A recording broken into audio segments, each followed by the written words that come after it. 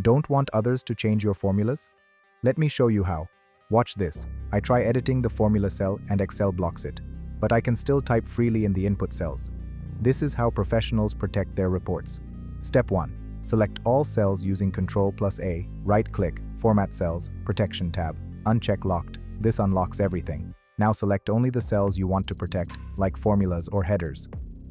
Right-click, Format Cells, Protection, check Locked. Go to the Review tab, click Protect Sheet, set a password if needed. Now Excel locks only those cells you marked as locked while keeping the rest fully editable. Perfect for user input sheets, task trackers, expense templates, dashboards, and shared office files. To unlock later, review, unprotect sheet, enter password if used. Bonus tip, you can also allow users to sort and filter even when the sheet is protected. Just check those options in the Protect Sheet window.